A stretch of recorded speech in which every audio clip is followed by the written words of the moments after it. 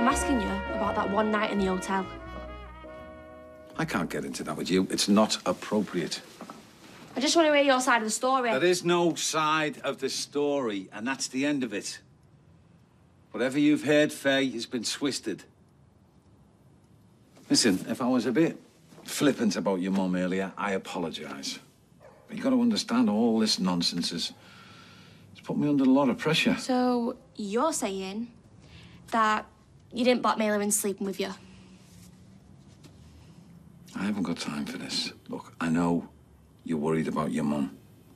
But there's nothing else to be said when it comes to me and her, all right? No, it's not all right. It's important and I want to talk about it. The apple doesn't fall far from the tree, does it? You and your mum going on and on and on. Okay.